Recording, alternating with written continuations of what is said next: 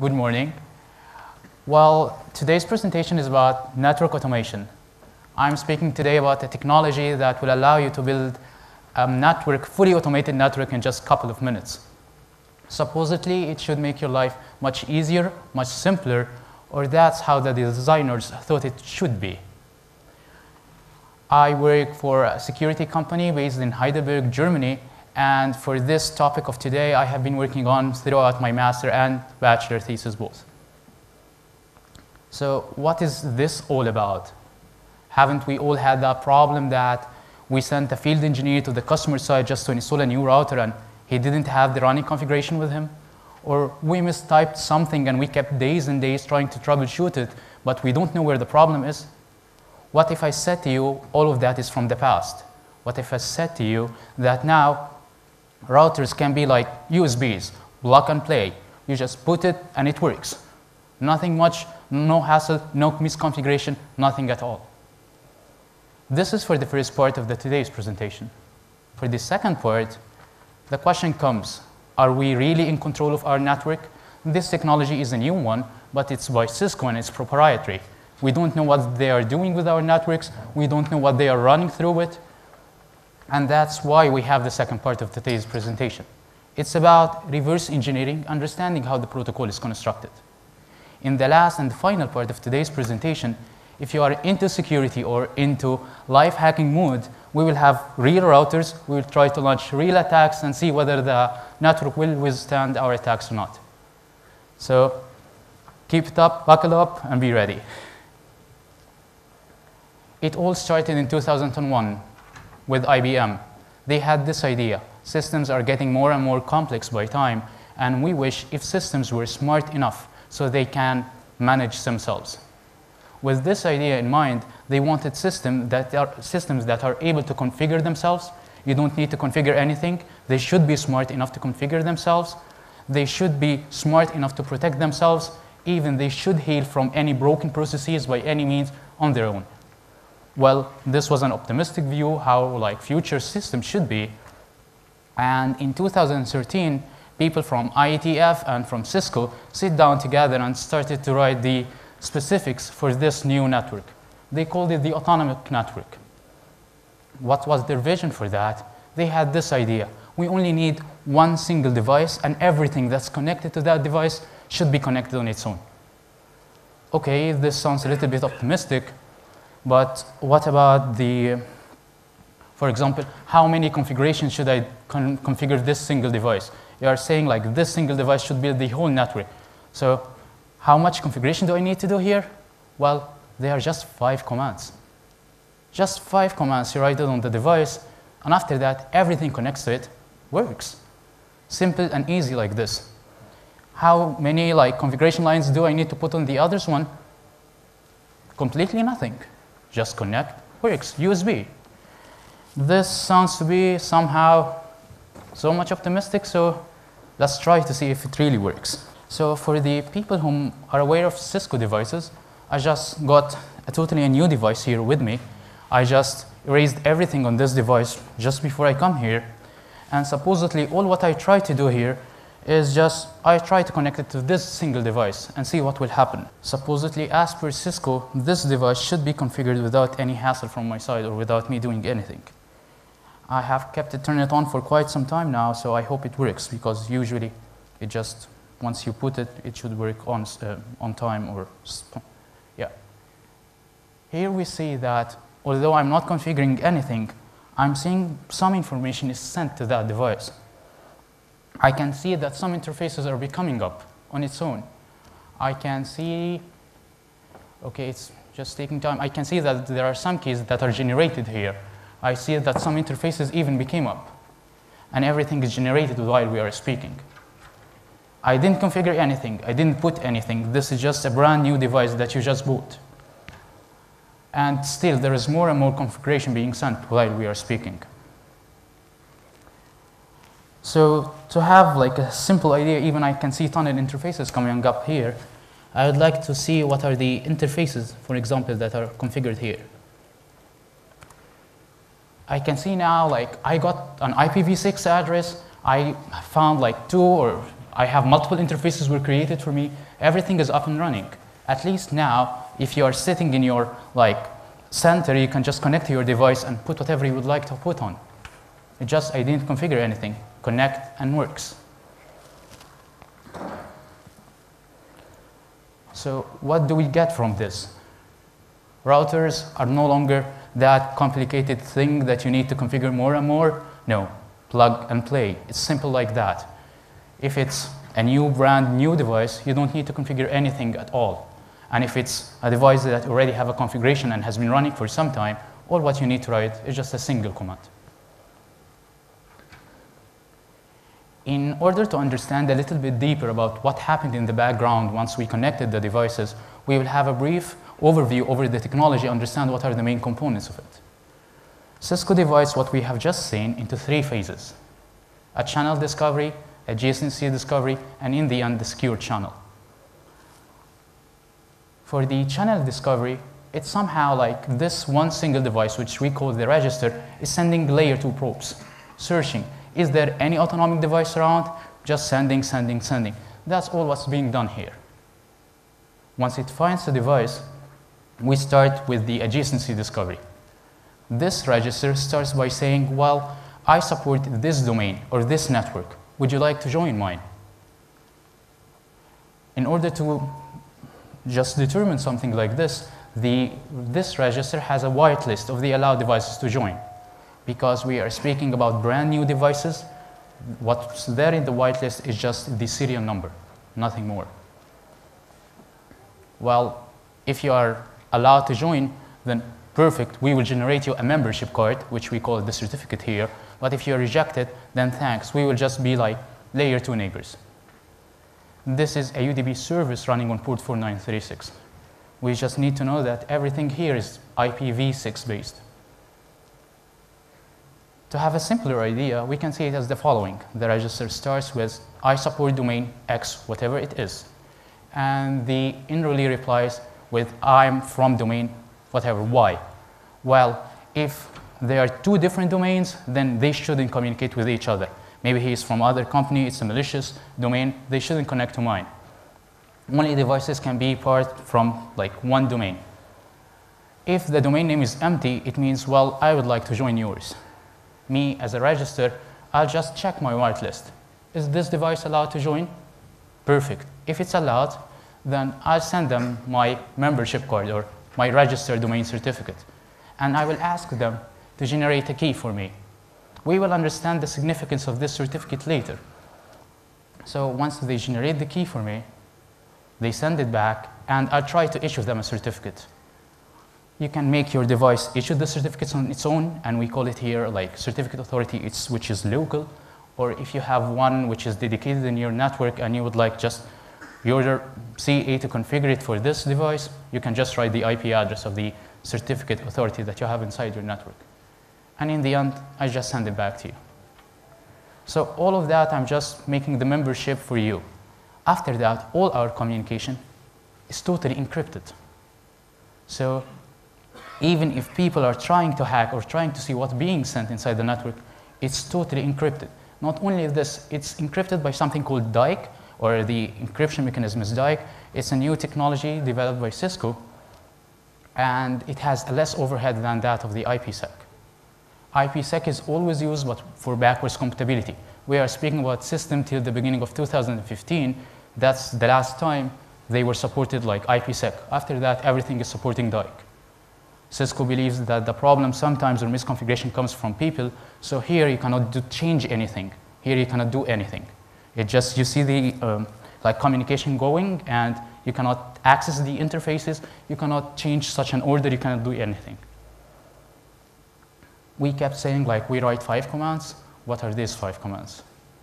It just you say this device will be registered. You will define the domain ID or the network ID and if you would like to put the whitelist, if you don't put a whitelist, then every device will be accepted in your network. And after that, you will define what's the type of CA, the one will be issuing the certificates. Is it local, the same device, or you have a dedicated one and you can write its IP address. And that's all. After that, just no shutdown, just enable the services and autonomic. It's as simple as this, three, four commands, and you have fully running network. And what do I need to configure? If I'm speaking about a brand new device, then none, nothing at all. And if this device or system has like a configuration from before, just one command, autonomic, and that's it. We are speaking about you will be configured. What's the configuration that you will receive? Well, you will have an IPv6 address interfaces will be defined for you. A VRF will be created for you. And tunnel interface for the secure communication. If you have a syslog TFTP server in your network, it will be just discovered on its own, so you don't need to define anything further. And even if you would like further configuration to be on the device, you just go to the TFTP, write the serial number of the device, and the device will just communicate with TFTP and download any further configuration. It just changes how we look into networks, changes the complexity. It's really that simple that you connect and everything will be automated for you. But the question comes after that. Are you in control? Do you really know what's running in the background? As per Cisco, we understand that we are in three phases, and we at least have a UDP service running on port 4936, and we have this DIKE on port 5000. So I expect to see multiple phases or multiple types of packets. But what I see here is this. Well, this is LLC layer 2 technology. Wireshark cannot understand or see what's really running here. You have no idea what's really running inside your network. So what we will be trying to do throughout this part from the presentation is try to reverse engineer this, understand what are these packets. Well, this is the first packet or frame that we have. How do we start? I know that in the beginning we at least have an Ethernet frame, but which type of Ethernet? Well, we have three types. By checking here, we know it's not an Ethernet 2 frame, and by here we are sure that we are speaking about snap frame. So at least as the beginning, we understand how we start. We have destination MAC, source MAC, some frame length, the snap frame identifier, the organization identifier, which is OC for Cisco, and after that, the autonomic protocol ID. Okay, till this point, at least we managed to understand this, but what comes after is the autonomic protocol. And we believe that it can be understood or analyzed based on this header. We introduce this new header. We believe this one we can use to understand whatever comes after. To test this, we try to analyze what's coming further. We see here the version and the state. The state says in which phase are we in in the protocol. This is the first frame, this is the first thing, so we're just in the first phase. Factory default, never change, and some opcodes. Opcodes means what's the function and significance of such a frame. What's the role this frame is playing throughout the whole communication. These are the available uh, opcodes for the channel discovery. After that, we have the header length and some reserved bytes, then TLVs. For the available TLVs for the channel discovery, they are simple as that. We are just speaking about one or two frames being sent every now and then, either probes or keep alive, something simple as this. The adjacency discovery is a bit bigger because supposedly we expect a UDP header here. So we start with the same idea. This is the Ethernet snap frame, we already know that. But here is the problem. This is the one customized channel discovery header that stops Wireshark from analyzing the packets. This thing is the one that is added by Cisco. It's somehow like two and a half layer for these autonomic services. To understand this, it's somehow very close from the one we have just seen, but just, however, the state is different here, which is O5 and ether type. This ether type means what's next header coming, and for this one, it's an IPv6 header. After the IPv6, we know this is a UDP header, just from analyzing the, what's written in the IPv6 header. And after that, we start again with the autonomic protocol. We believe that for the adjacency discovery, it's the same header. We can use the same header. We don't need to introduce a new header for that. And here the version is 2 instead of 1. The state is O2. We just started into the channel in the adjacency discovery phase. This is the first packet here we have multiple states because either we are like trying to get your membership or trying to add you into the domain or even trying to build a secure channel. After that, the reserved bytes again and the opcodes. In this case, we have much more opcodes. Here are they.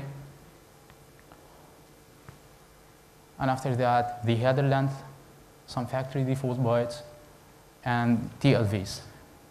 For the available TLVs, they are quite big. We would have needed like three, four slides just to put the available TLVs. So if there is a link in the end, if you are interested more in know all TLVs, you can just check it. And here comes a little bit of a challenge, a secure channel. What shall I do? It's totally encrypted. Port 5000, DIKE. I have no control over this. What if I'm a little bit interested to know what's really running inside? What shall I do? Cisco is a black box device. I can't say which keys that they should use, for example. So the question is, if I'm really interested to know everything about this technology, how do I know what's really inside? And for this, please let me introduce you to this beautiful device, the ME3600X. It is one of the very early first devices to support autonomic network, starting in 2014. But the question comes, how can that help me? Well, as we said, we have an IPsec for backwards compatibility, and DIKE is the brand new one. Also, I cannot control IPsec. How can, even if I have an IPsec, how can I see what's being sent inside? But you know what? From the RFC, there is IPsec null. In other words, IPsec without encryption at all, just authentication. And if we implement this, then we can see a packet that's truly unencrypted within the tunnel itself. This packet is the RPL. RPL is the routing protocol of autonomic network. It can never ever be seen outside of the tunnel. Supposedly, it totally should be encrypted and never be seen we can see such information here that we are using GRE and some ESP and some stuff. So it appears to be going fine. Everything seems to be good. The encryption is, or whatever it is, DIKE is a brand new one. There are no attacks against it. The question comes, is this technology really secure? Can we start deploying it? Can we start putting it into action and see how we can build networks in just 10 minutes? And for that, I thought about like, do it, try to do it live, and see whether they will withstand some of the attacks that we have in mind or not. And if we have any problems, I believe a live support can help us. So anything that happens, we will try to write to them and see how it goes. So the first idea I had on my mind that while we are speaking about, they said that two different devices from two different domains cannot communicate together, or at least they will be neighbors. So what I will try here, even as a basic thing, is try to connect to a device which is from a different domain and see how it will be. So this is from different domain. It's even, its domain name is malicious, as we see here. And my register or my device is from domain from domain ERNW. So supposedly, they never should be able to communicate together, or at least they will be neighbors. So I'll try to put this into test. I'll get this, I'll try to connect, go to, and see how it will go. So I see they became neighbors. Well, this is expected. And can even see that some configuration is going back and forth between them.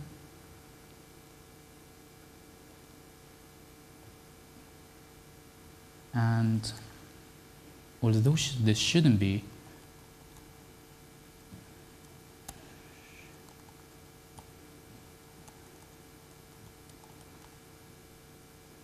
we have built a tunnel. We have built a secure communication with the devices within our domain. Come on, we are speaking about device which is somehow maybe be malicious. It shouldn't belong to my domain. It shouldn't belong to my network. So What's this about whitelist and what's this about everything? I need to write this to support. Hey, I tried to connect two devices from two different domains and they communicated together. What do you think about that? Honestly, from Cisco perspective, they were quite uh, responsive to all the vulnerabilities that we have disclosed here. Then they were quite fast enough to even to think and just pass our request for the business unit. So the business unit, the designers said, well, you know what? If they belong or their certificate was signed by the same CA, they can join. They can be in one domain or they can communicate together. But come on, this is not as per the specifics. This is something that we didn't expect. Yeah, don't make a big deal. We would just add this feature in the future. Uh, okay. What's the significance of that? If the device has a certificate, we never check our whitelist. So this device will be always able to communicate or be inside your network. There is no way you can stop such a thing because the certificate will always be passed. But you know what? What I can do usually simply is I go to my register here and just try to this is the domain name of the server and just try to revoke the certificate saying this certificate is no longer valid. Well, I tested here on a local CA, and when I went to Cisco and said, well, I tested here and it didn't work, they said to me, you know, we don't support it for local CA. I said, but also I tested for external CA. What do you think of that? They said, okay, oops, this is a CVE then. so, what's the significance of such a thing? you cannot protect your network. You cannot revoke the certificates. If there is a device, an old device from, whatever, from wherever it is, that has a valid certificate, it can always be part of your network. If you'd like to protect yourself, you need to remove the keys of your CA and make new ones. Best of luck. Mm. Okay, I see a little bit uh, scary, but you know what? I'm the one who has control over my network. I'm the one who controls my CA. I generated the keys privately, and I don't care about such problems. As long as the communication is stable, that's all what I care about. Even if we go to the register here,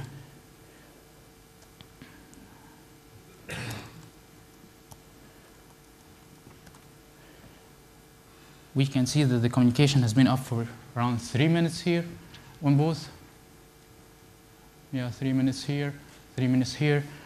So I don't care about such problems. What can someone maybe do? What if someone tried to reset the channel for you? Let's see. Okay, I see my device has been affected, but okay, this is not good. I see the interfaces are coming down. There is no longer a secure or stable connection. Anyone passing by can just attack your network. This is not good. Let me check how long is something changed here. Yeah, they are down. And because we have here self-healing, these devices should now restart or try to build the, like, the tunnels again on their own. But in other words, anyone passing by can just break the stability of your connection. We can see here that the interfaces and stuff come up on its own. This is the idea of self-healing. But there is more here said, like, check your Wireshark. What's really scary about this is this. This is the RPL. This is what should have been encrypted so on breaking your channel, not only the connection breaks, but everything inside that communication or secure channel is sent in plain text. So there is no encryption, so no stability and no encryption. This is quite scary. And as usual, we have the life support with us for that. Sorry. Something like the attacker can reset the remote or secure channel and can see everything in plain text. What do you think? Yeah, it's another CVE, come on. So what's the problem of this? We start into the phase that you can never have a stable, secure connection anymore. But you know, I, I still believe in autonomic network. I, I believe it's just one problem that they can solve. Although when you read the advisory from Cisco for this vulnerability, you will find that they wrote the vulnerability is due to unknown reasons and we don't know how to solve it and we don't have a workaround for that. So it's still like a zero day attack. So anyone who, they will solve it later, you know, don't worry about it. Uh, all what I'm afraid about now is my devices at least are running up and stable easily. But for this, I have this small video. In, in this video, I just try to reset the channel multiple times. Keep resetting the channel one after another. And if we see here that I'm trying to ping after that, well, this is a little bit scary because it means that even devices can crash. Well, I just tried, I just wanted to put it into test and see whether it will withstand or not. So I just enjoy watching the video with you.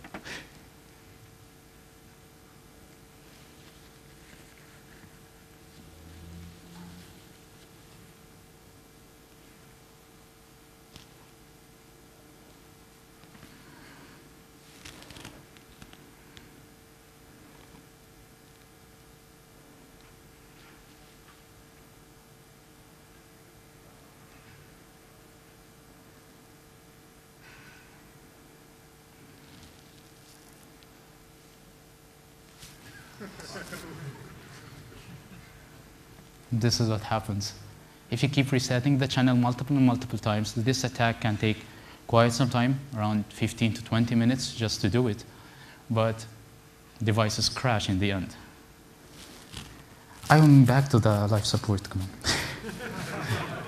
so if the attacker kept resetting the channel for multiple and multiple times, eventually the device will crash. And for this, we have another CVE. so it just takes around 15 minutes to do it. And up to now, it's the same problem for unknown reasons. And there is no workaround around this. And still valid attack. But no, no, at least autonomic is not that bad. You know, I have my register, which is somehow the strongest device in my network, and no one can touch it, right? Yes, let's, let's go to my register. Here is the register. It has been up for how long? Let me see. It has been up for one hour. Come on, at least this is the strongest thing in my network, right? And no, I cannot crash the register simply like, okay. So, uh, this is not good. Support.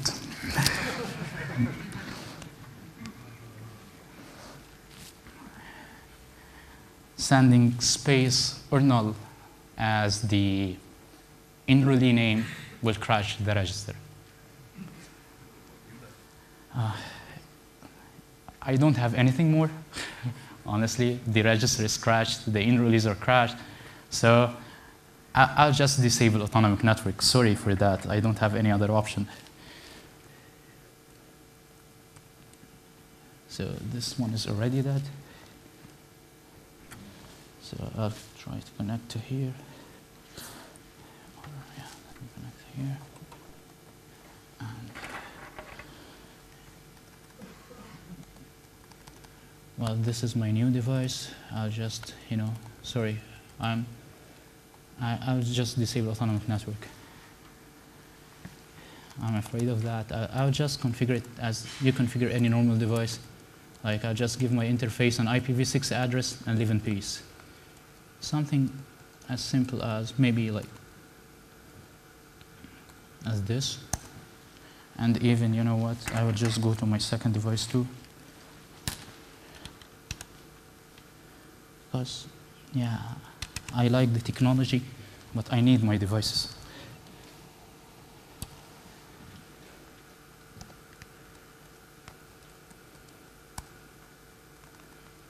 I'm sorry, no autonomic tool.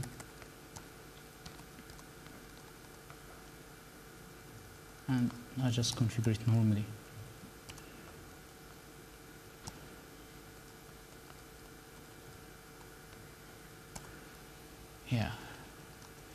Least, you know, now I, am safe. I'm safe. Fine. I will write it even for you guys. I'm safe. Nothing can touch my devices. Nothing can do any harm to my attack. At least, every. Oops. So, I, I even haven't configured anything on the new device except the IPv6.